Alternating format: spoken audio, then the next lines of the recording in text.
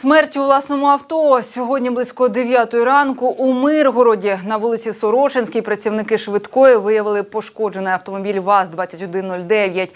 У салоні був місцевий 69-річний чоловік.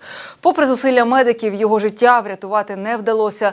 Він помер на місці. Повідомила речниця Миргородського відділу поліції Вікторія Москаленко.